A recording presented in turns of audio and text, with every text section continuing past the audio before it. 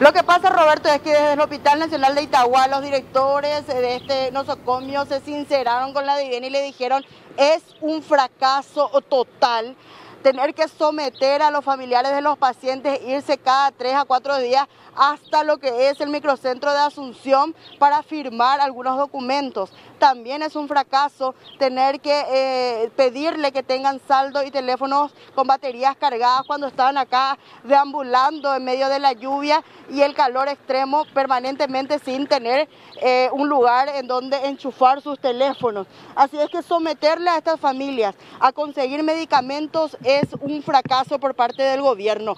Para subsanar eso implementaron un nuevo, una nueva metodología de trabajo que van a estar realizando.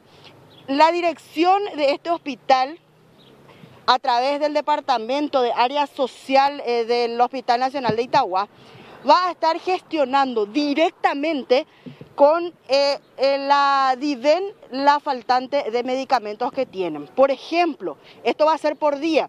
Hoy faltan 10 ítems de medicamentos.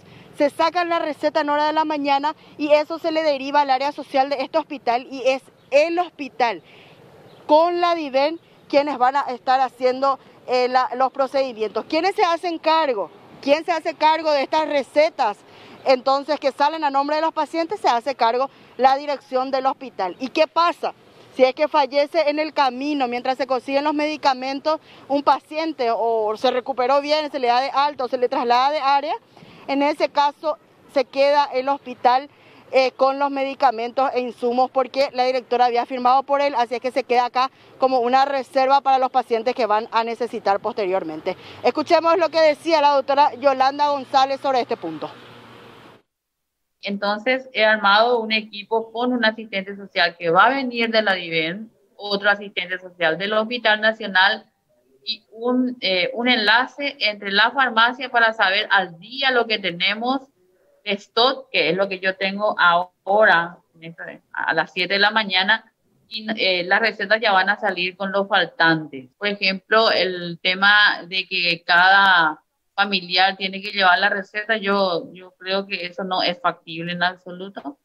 Más todavía cuando el Hospital Nacional está muy lejos de, de todo esto. El tema de la personalización es cierto, que reciben ellos el cultivo, eh, pero al mismo tiempo, si el paciente es trasladado, porque ya bajo su complejidad eh, fallece, entonces eh, digamos que esos medicamentos tienen que quedar ya para ser parte de, de la emergencia para los ingresos, así no tener un, un, impasse entre el que llegue el medicamento, como vos mismo estás diciendo, y nosotros tenemos que tener acá un stock constante. Y a hoy, de los 30 ítems fundamentales, me faltan 11 en, que es de urgencia, ¿verdad? Son 11 ítems que me faltan. Son más que nada catéteres y colectores de orina, eh, tengo tubo endotraqueal, y, pero el nacional de los, de los 30 ítems fundamentales eh, solamente me está faltando 11. No faltan los sedantes, no, falta, no faltan los sedantes, no, pero me faltan algunos eh, antibióticos de tercera generación, por decirte así. Estuvimos conversando con los familiares de los pacientes y a ellos les parece una salida muy pero muy viable porque así no se les tiene que entregar a ellos la receta y realizar las gestiones correspondientes. Pero hay otro problema a los que se enfrentan ahora los familiares, porque pues, tuvo medicamento, el gobierno llegó tarde y encima llega mal. ¿Por qué? Porque no incluye en la ayuda o en la asistencia para familiares o para pacientes que estén en terapia intermedia se le cubre solamente a aquellos que están en terapia intensiva. ¿Y qué pasa con los de terapia intermedia? Hoy justamente acá entre, en, esta, en una de las carpas del Hospital Nacional de Itagua se estuvo conversando con gente del área social de la DIVEM y se les pedía que urgentemente se incluya también a los pacientes que estén en terapia intermedia. Buenos días, buena señora, ¿cómo está? ¿Medicamentos necesitan o tienen todo? ¿Cómo, cómo están? Eh, de mi parte estamos bien. ¿Hace cuántos días están Diez días. ¿Y eh, hasta el momento tiene la provisión de medicamentos asegurada? Sí, señora. ¿No está comprando No medicamentos? estoy comprando, por el momento. Ok. Eh, ¿en, en dónde está su paciente? En la sala 5. ¿De terapia? Sí. Bueno. Fuerza, señora. Fuerza, que se recupere. Señora, buenas. ¿Medicamentos? ¿Compran? Y no, no, no, hasta el momento no todavía. Gracias a Dios. Pero ¿Están teniendo todo? Sí, estamos teniendo todo. Mi marido no, no está en terapia. No está en terapia y gracias a Dios no me quejo. No están comprando. No estamos comprando Bueno, todavía nada. ¿Hace cuántos días, señora? Tres días. Tres días. Tres Vamos días. a recorrer más para hablar con la gente. Ellos están diciendo que no están comprando medicamentos. Ellos están instalados en estas carpas improvisadas aquí, en donde eh, tratan de guarecerse de la lluvia y el sol. Ahora, por ejemplo, está cayendo en Itagua una pequeña llovizna que no es muy, muy fuerte eh, por el momento. Buenas, señor. ¿Medicamentos están comprando? Sí. ¿Hace cuántos días están acá eh, y eh, su paciente yo dónde recientemente nomás estoy acá, en el hospital. Ayer, hoy, Ayer, ayer en la noche. ¿Y su paciente está en terapia intermedia o en terapia intensiva? ¿Dónde? Está en terapia intensiva, en tu En Dubao. ¿Y están comprando todos los medicamentos? Y por ahora no nos están pidiendo tantos medicamentos, Pero tuvo que comprar, pero tuvimos que comprar unos cuantos medicamentos que son necesarios. entiendo. ¿Ayer, hoy estaban comprando? Ayer. Ayer compraron. Ayer y ¿Hoy? Hoy también. Hoy compraron también. ¿Les entregaron una receta pidiendo Eh, medicamentos? Claro que sí. ¿Y cuánto gastó, Ahora, señor? no, ahora gastamos 30 y 35 mil. ¿Qué compró? No son medicamentos muy, muy caros, pero estamos comprando. Eh, A través de Putuvo Medicamento intentó eh, no, zanjar esa deuda. No. Todavía, todavía no. Es muy poco 35 como para Eh, hacer todavía, toda esa engorrosa gestión, ¿verdad? Para hacer la gestión. Bueno, muchas gracias, De mucha nada. fuerza. Entonces lo que vemos es que la gente allá en principio en las carpas nos decían tenemos todos los medicamentos. Acá el señor dice que hoy tuvo que comprar uno de 35 mil. Vamos a tratar de ingresar también acá. Hola, buenas. Eh, a ver, no quieren hablar acá. Vamos a tratar de llegar por este lado a ver si más gente quiere comentarnos su experiencia. Hola, ¿qué tal señora? ¿Cómo está? Hola, señora. ¿Medicamentos están comprando? No, yo, mi papá no está en esa parte. ¿Dónde se encuentra? Mi papá está en.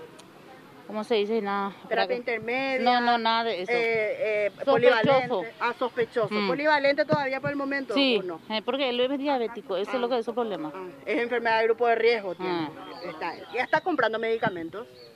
Sí, pero muy poco. ¿Qué, qué- cuánto está gastando, por ejemplo? Ni 100 no gasto todavía. ¿Hace cuántos días? Antes ayer nomás le entró. Hace tres días y Sí. 100 mil lo que está gastando aproximadamente. ni 100 mil. Ni 100 ¿Para mil. qué voy a hablar de balde? ¿Está conforme, señora? Sí, ¿Y la Yo- atención? muy bien acá.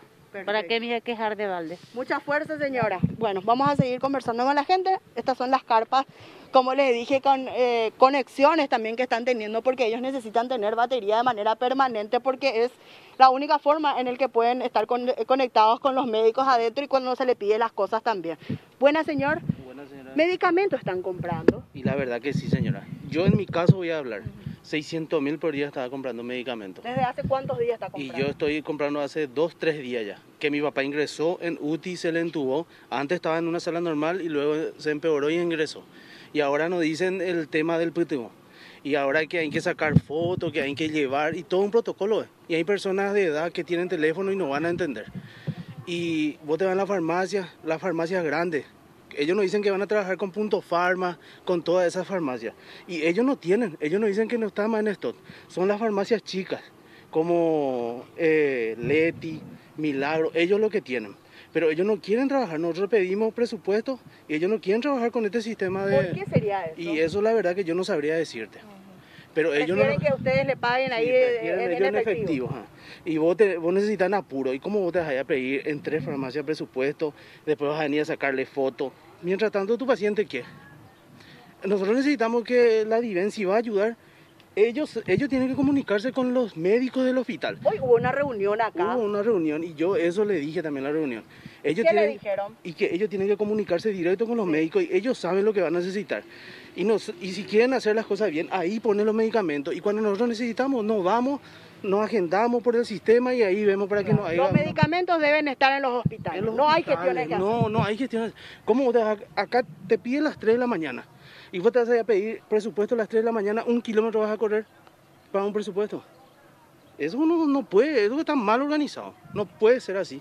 Los medicamentos tienen que estar ahí y tienen que ser lo más rápido posible. si va a ser fuerza, una ayuda. Mucha fuerza. Eh, dale. dijeron hoy después de la reunión de que esto se iba a tratar de Sí, zanjar. ellos iban a tratar de hablar con los médicos de ahí y ver una solución, porque hay gente que no entienden también el teléfono. Hay otro problema que nos comentaron, que la gente de terapia intermedia no ingresa, por ejemplo, en este beneficio. No, eso, eso no, no aclaró la chica, que van a hablar ellos para que ingresen también, porque usan prácticamente los mismos medicamentos. Justo un señor le estaba consultando eso y ellos también dijeron que iban a aclarar ese tema. Claro, porque dicen incluso algunos médicos que en terapia intermedia es donde más medicamentos se utilizan. Y, y seguro que sí, yo no sabría decirte porque mi papá entró en terapia intensiva. Pero Yo- fue también un tema de sí, debate. fue un tema de debate y le dijimos todas esas cosas y, y la verdad que las farmacias pequeñas no sé cómo consiguen los medicamentos más caros y punto farma y eso, vos le llamás y te dicen que no están en stock. Entiendo. Gracias, señor, mucha fuerza. Entonces, eh, seguimos recorriendo y eh, hay que eh, meter en PTU medicamentos o en los beneficios también a la gente que está en terapia intermedia, no solamente a terapia intensiva. Hola, buenas. ¿Qué tal, señora? Medicamentos, ¿cómo estamos en cuanto a eso? Ya me preguntaste, ya, ya. Esta mañana, esta mañana cuando llegábamos, pero eh, ahora estamos en vivo y por eso queremos que la gente se entere cuál es la situación acá. A nosotros por lo menos no nos está faltando medicamentos, estamos, nos están proveyendo. Nosotros no tenemos problemas. ¿Cuántos días de internación? medicamento, 15 días más o menos. En terapia. En terapia. 14 días en terapia. Ok, muchas gracias. Señor, ¿ustedes también la misma situación? La misma Ah, situación. bueno. Vamos a, están almorzando ellos, así es que vamos a retirarnos, vamos a dejarles también que